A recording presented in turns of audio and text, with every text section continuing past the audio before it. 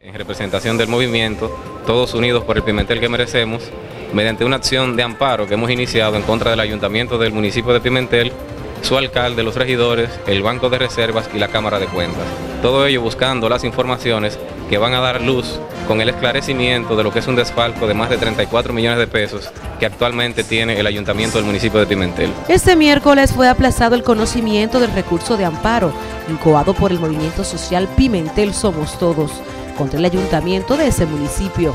Es la tercera vez que aplazan dicho conocimiento.